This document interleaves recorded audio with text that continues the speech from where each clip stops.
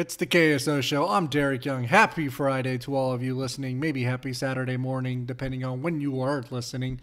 It's the KSO show. I'm joined by Grant Flanders. Time to talk a little football, Flando. Yes. You ready for some football? You know I'm ready for some football. Oh, I'm ready We got K State. Southern Illinois Night game. tomorrow. Six o'clock. Tomorrow night, six o'clock. So- Recorded on Wednesday, but tomorrow night, if you're listening to this on Friday, Are you six afraid? o'clock. Are you afraid of the dark? You know I'm not afraid of the dark. Okay, we got football. Kansas State Wildcats, Southern Illinois Salukis. Are you afraid of Southern Illinois? Eh, offensively, they could be a little scary, but no, not for this K State team uh, in the think we'll- grand scheme. I think the Wildcats score. I think I think the Salukis are going to score. Yeah, I think the Salukis score a little bit as well. Yeah. No doubt. That's I- that's what will scare you. Yeah, yeah. So But we'll, this we'll talk about. get piping. Let's let's talk first. What Yes. do you Yes. think we saw against Stanford on the good side for Kansas State that carries over to tomorrow, Saturday football game, Southern Illinois? Um, What do you think carries over? Good uh, defensive line play, continued pressure on the quarterback, which is going to be key to making uh, this. What's his name again? I'm sorry. The The quarterback? the, the Salukis quarterback, Nic Baker. Nic Baker. I need to uh, ingrain that in my mind for the next few days because I do believe getting back there. He just threw for four touchdowns in the last game. Um, you know, he's going to be a guy that throws it around. I mean, and the defensive line, I think, because the secondary wasn't great against Stanford. They were okay. I think they, they did fine, but in the grand scheme of things, I do believe the second level and that defensive line were even more impressive. And I think that's something that will carry over against the Salukis. I think something that'll carry over is how fast they can play. I, I don't think that was a fluke. I think the, the bigger, faster, stronger thing, I think it's real. And I think it was Drew Carroll really setting the tone for this program. And I think that's a big thing for the Wildcats moving forward. I don't think it's a fluke. I don't think it's a week one thing. I think it's a week one, week 13, week 14 thing. I think we'll see it all year. Yeah. Playing fast doesn't give you wins. You got to also know what your job is, be assignment sound, and make the tackles, make the play in front of you, and all that. But I do think we still see them fly around the ball. Can they rally to the football still? You can also play fast, but do you rally to the football? We'll see. I'd like to see that continue. What maybe I don't know, piss poor. I don't know if that's. Yeah, I don't know if that's that's. fine. I don't know if that's, That's the word. perfectly fine What negative things that, that we saw against Stanford do you think might carry over here? Mm, you know, that's a tougher one because, you know, I'm an optimist. But if I had to think about some negatives that could carry over is that right side of the offensive line. Like, why, why, why should I think Christian Duffy all of a sudden is a new player than what he was against Stanford? Um, and obviously, they still like him there. He played most of the snaps there. I mean, eventually, if he continues to struggle, you think they'd move Carver Willis there. But how prepared is he to play that position all season long? So I will say that right tackle position does worry me some. I will say the pass coverage. I, I, it might not be as gaping or, or as um, exposed, even though it didn't. They didn't, even though Stanford didn't take advantage of it.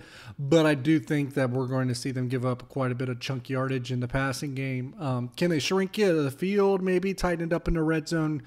Produce some turnovers to negate that, um, or at least overcome that. Probably, I think. I think that's at least going to be um, that's the route to take in terms of how to defend it. But I think the Southern Illinois is going to get some yards through the air. Uh, what's a what's a something you're concerned about this week that you didn't have to be concerned about last week? It's, it's your answer that you just threw out there. I mean, Yeah. this. I mean, the, Because we didn't have to be concerned about it last week because Exactly. Stanford didn't take advantage. because Stanford didn't take advantage. I also was never very, even going into the game, wasn't very high on, on those quarterbacks to be gunslingers, whereas um, Baker is going to be, a, g- I think, a gunslinger, at least more of that type and more of what they're going to see in the Big 12. And that and that is a worry, um, that, and something that they will have to address because that's the thing. The secondary could look really, really good this week if they're able to stop that man. I think they'll be able to in doses. I think they're going to give up their share of yardage, but maybe make some big plays. Yeah. So, um, because I think really how they are going to have to attack it is maybe just through opportu- being opportunistic, creating turnovers, or just being good on third down and getting off the field. So we'll we'll see what it looks like in the that front. Uh, what's something that you think that maybe was a little lackluster last week that could be mightily improved this week? chunk plays for, through the air for Kansas State's offense and to wide receivers. I really think that's something that needs to get figured out. I think Phillip Brooks had a, obviously had a really nice gainer Um, but besides that, there wasn't a lot through the air that really impressed me that I can think off off the top of my head. Besides a few intermediate passes here and there, Miss, but I want to miss some, plays. chances. Yeah, missed some chances. They had Phillip Brooks running wide open for almost the, the entire day. Yep. Um, I want to see Malik Knowles get open and Yeah. both running wide open in the in Yeah, the- so and, and they Skylar Thompson finding them. Yeah, probably missed on some connections with Phillip Brooks there um, last week. Uh, so a poor throw to Daniel Imatorbhebhe Yeah. down the field uh, that could have resulted in a touchdown as well. Not sure if I'm missing anything else. Maybe we'll, we'll see a little Tyron Howe. I I mean, he played enough snaps Yeah. last week. Just you know, he got one look, caught the ball on that target, but it was called back because of a penalty. Okay, but uh, I think the one thing where I say looks a lot better than last week. Mm-hmm. So, yeah, I'm the one asking the questions, but that's a challenging one too. I like your answer just Yeah. because I do think Southern Illinois will probably focus more on the rushing attack. Um, but I will say the offensive line. Yeah. I, I, I think I don't think they were lying or trying to, you know, put the throw the wool over our eyes all off season or throughout fall camp. I think they were con- they were seriously genuine when they said this offensive line was the strength of the team. I've never seen Conor Riley so confident about that, and obviously we heard that from every player and every coach. So I think the offensive line has a com- uh, complete game, maybe not complete game because it's tough to have a complete game in, in week two. Still, um, you, offensive lines take whiles t- take a bit to mesh, but I do think we see a night and day performance. I don't think we see the drop off in performance or caliber uh, that we saw last week in the third quarter and beyond. So I think that we see a more complete game from the offensive line where they command the line of scrimmage. Um, whether that just you know results in more uh, more uh, protection for Skylar Thompson and more time to throw, or more rushing yards, I don't exactly know, but I think they're really going to control that line of scrimmage against the Salukis. I think it's going to be both, and I think part of the reason is, I mean, I could be wrong on this. You know, I think Christian Duffy's going to have a huge back uh, bounce back game. I I, I think we, we for, for whatever reason I think Yep. he had a lot of friends and family in the house because he's from Texas. It was his first time playing a lot in front of that. I think the nerves really got to him. I think because they talked about Christian Duffy having one of the best off seasons through, uh, of the entire team. I think we see that come to Yeah. fruition against Southern Illinois. maybe I could be caught off guard, and maybe you know this answer. Would that is this Saluki's defensive line anything like what that Stanford defensive line was, which was pretty solid, Power Five defensive line? No, well, I mean, it could be, but, but I mean, maybe this is me being a little naive. I mean, that's a big defensive line for Stanford, and I think, and so I. I, and, and even if not skilled, it's tough to handle still, just because of uh, the size and just the mass that it takes, or that they had to move. So, I will go out on a limb, and I know I say go out on a limb because I can't say I, I sit there and comb through Yeah, you know, over 100 hours of Southern Illinois film like these coaches have. But I will go out on a limb and say that this defensive line from Southern Illinois probably not the same caliber, whereas at least not as cumbersome in terms of being able to move it as Stanford. which makes me do believe that K State could have some, a lot more success on the offensive line. Obviously, then you want to see that carried over into more games against uh, better defensive lines. But I do agree it could have been more of a shell shock thing for Christian Duffy with his whole family down there. Um, and I, I, yeah, I think bounce back game for Duffy. I mean, yeah, they haven't given up on him by any means, not even close to it. Um, expect him to start and play a lot of snaps and and get back to his consistent play that we saw from last season. Yeah, he was pretty good a year Yeah. ago, and and he, he, I mean, he he started a lot of games last year. So I, yeah, yeah, I'm not raising the alarm bells. I think there's a chance that we really see this offensive line take a hold of a game the way maybe we were envisioning when we were hearing everybody, you know, prop them up throughout fall camp. This might be the game where we see that really happen. Um, maybe not that many punts. I, I really do think Kansas State offensively is going to roll this week. I, I just have a really good feeling that Southern Illinois is really not going to have an answer for them. I mean, I agree. This is the game where you should be able to see all these playmakers that have been talked up all season long um, come out and, and play. I mean, I, I expect a lot of the ball getting spread around, a lot of Keenan Garber, a random name that you may not be. I mean, unless you're on KSO, you may not have seen a lot of. I think he could get a lot of touches and see what he has in store. Uh, Joe Ervin could get uh, could get get some more touches and we can see the explosiveness that the coaching staff has raved about all off season long. It's when he came back um, from opting out last season. A lot of things I think offensively, you're right about that. And even Malik Knowles, I want to see at least one post route over, dropped over, dropped in the bucket by Skylar like we're used to seeing against solid competition, but lower level level, you know, um, FCS opponents. Yeah, I mean, there's, I mean, to be to put it bluntly, they underperformed as a unit against Stanford, so it would be really reassuring to see the offense take a giant step forward and at least show the flashes or, or the potential that we were, you know, assuming we would see from from them, you know, throughout the off season. And quite frankly, if we don't, and it's a little bit of kind of another dud from the offense, mm-hmm. one against Stanford and then again versus Southern Illinois, I'd probably be kind of concerned at that point um, heading into the Nevada game that man, this might not be the you know effective offense that I was anticipating when I predicted a nine and three record, and even after the week one, and everyone's going to overreact to every single team and how they look in week one. I was like, you know, I'm not going to I'm not going to be that guy and jump off my nine and three bandwagon yeah. already, but it, you know it probably looked more like an eight and four team in my opinion. You asked Skylar after the game if if it was rust or after, on Tuesday this week if it was rust, and he said no, it wasn't rust. It was more jitters. Yeah. I do believe this is where okay he needs to prove it to us that that certainly was jitters no rust and he's the the old quarterback that we know him to yeah and I, and I guess i think rust and jitters a little bit it is kind of similar. one one in the same yeah. there because um, i don't yeah, we'll see. I, do, I, do, I, do need the offense to reassure me a little bit this week. So if they Absolutely. don't, then uh, Nevada gets uh, to be. A, we, we, might. I mean, Nevada's going to be scary no matter what. No matter what, yeah. especially if the offense doesn't look on point. But even if they do, it will still scary. It will. But I, but the point is, I might pick Nevada if if the offense doesn't look did. great. Oh, did I? Well, you're right about that before the season. but come next week, my official prediction going into the oh, game. Oh, they're going to win unless they lose, right? that, that's your go-to. The point is, if they don't look good on offense this week, I will be that like that much more terrified for Nevada. Quick look at the defense. I know we've talked a lot about it already. Um, really good numbers. Really looked fast. Played fast. You know, last Saturday against Stanford and that's probably what the largest takeaway was is like okay these guys are, are bigger faster stronger which is what they were really gutting for in the off season love to see that.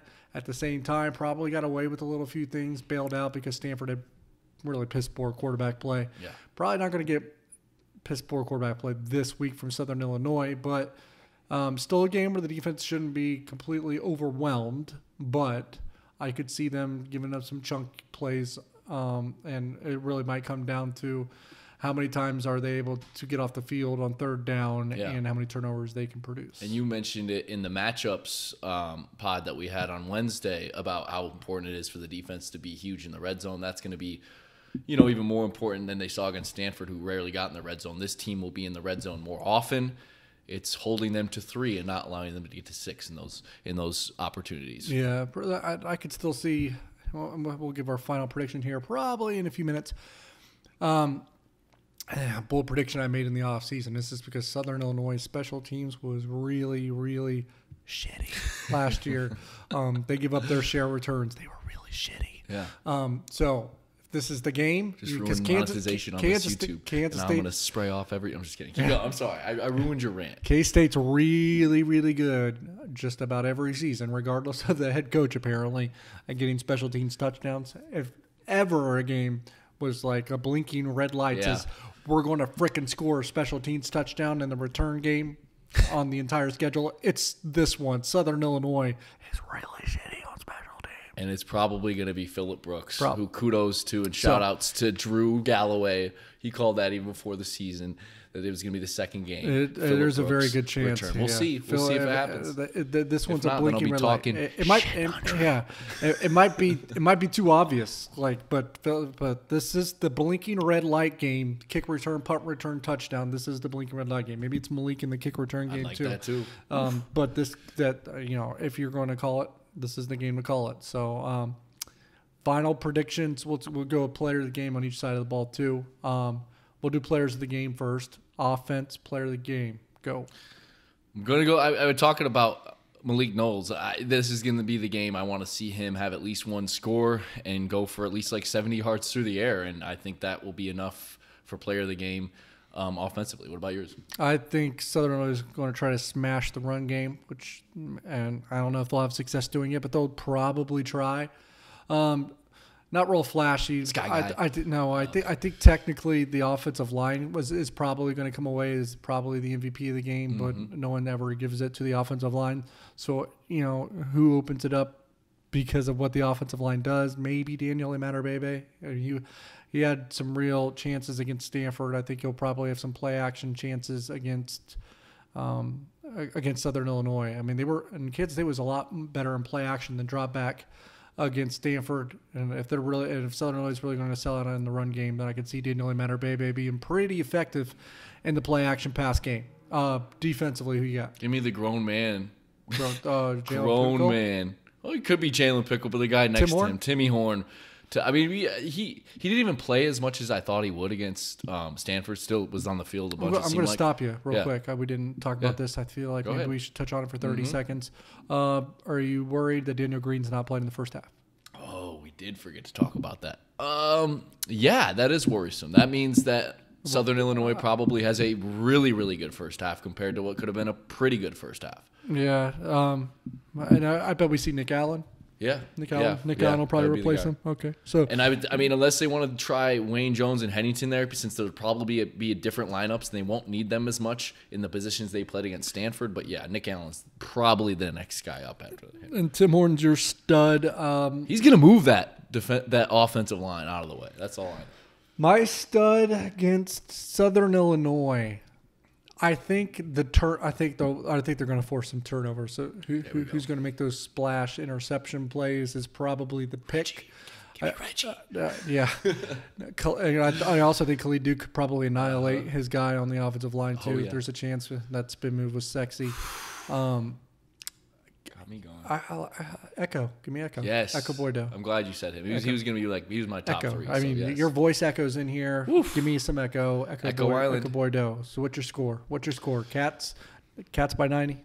Cats by 90. Uh, give me K State 38, Salukis 28. I, it's not going to be the most convincing game, which will, if that's if that's what it ends up being, yes, I will be that- picking yeah. Nevada for sure come Friday next week. Yeah, that that's that prediction might piss some people off. Well, Actually, then, I, you go Cats by 90, right? here. Do it, baby. Um, so you got the Cats 38 28. Interesting. Bill Connelly, you know, he does the SP plus. He has the Cats, I think his, his formula said 35 22, so not far off from where you had it. Uh, I'm going to go something I said preseason, actually, because I, still think I feel quite good about that. Maybe not exactly what I had there, but uh, clo- close to it. Yeah, close to it. I'll say the Cats 42 I like it. and um, probably feel less comfortable about the, what the cat score, but I'm going to go 42. It could be less than that, and I'll say Southern Illinois 20, 42 I 20. think, I think 42 is a, uh, smart. I mean, honestly, I sh- the smarter Uh, pick for me would be to say 41 because there's a better chance we see one field goal. But Yeah, well, yeah, yeah, we'll see. I, I think 35 20 might be more accurate, but I'll stick with 42 a few 20. field goals. But yeah, no, I, I like that pick. Um, and that's I think that is that is the score I'd like to see, and then be able to go, okay, K State might be able to beat Nevada next week, and and if they beat Nevada next week, then we're talking about a special season possibly coming. Uh, I think it'll be too soon. still. Okay, that's fine. Too soon. That's fine. Maybe I'm too high on Nevada, but I, I have to stick with it. I picked them. It'll be too soon. I, I say too soon just because you, you still have to get through that Big 12 first three I say, I say-. I'm going to be saying 15. I'll say 15 right now. I'll say 15 next week. I'll say 15. 15 big ones, baby.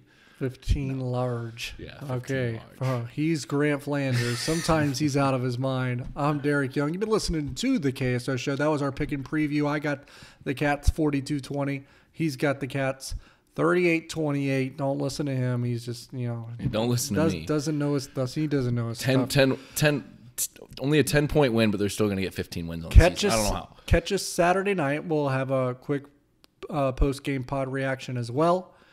And as always, tell your friends. Tell 'em.